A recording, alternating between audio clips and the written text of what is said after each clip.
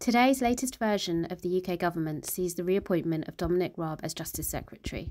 This carries the risk that the government will reignite the obsession of scrapping our Human Rights Act with Raab's rights removal bill.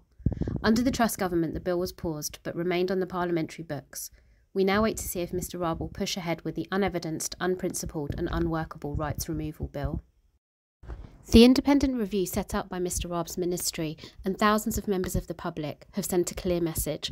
Our Human Rights Act works for people and must stay. As we enter a winter with people facing choices between heating or eating, the last thing we need is a government stripping away our most basic rights protections. Rather than wasting Parliament's time on this misconceived project, we urge the Justice Secretary to withdraw the bill permanently and instead focus on securing accountability, access to justice, and the rule of law in these turbulent times. The last two years have seen an incredible mobilisation of civil society, working in often quiet but vital ways to speak up for why our Human Rights Act matters to each one of us every day, including the many brave people who have shared stories of trauma and discrimination to make sure decision makers understand what is at stake.